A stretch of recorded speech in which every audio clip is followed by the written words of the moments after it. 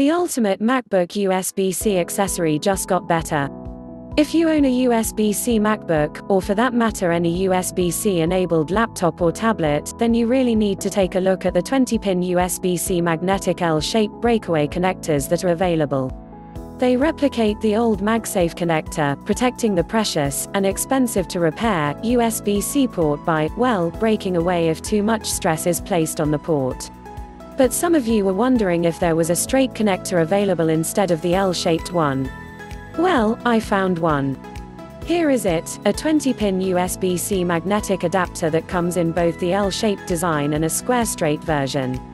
The L-shaped version comes in silver and space gray, while the straight version currently only seems to be available in space gray.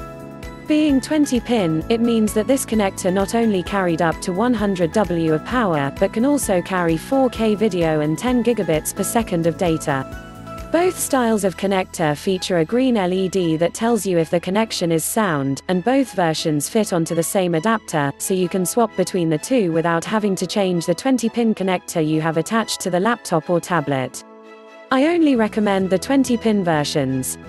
A lot of 6-pin versions exist, but not only are these for power only, I've found the quality to be variable. While solutions also exist that couple onto bespoke cables, these are great because you can attach the adapter to any USB-C cable, not just a specific one.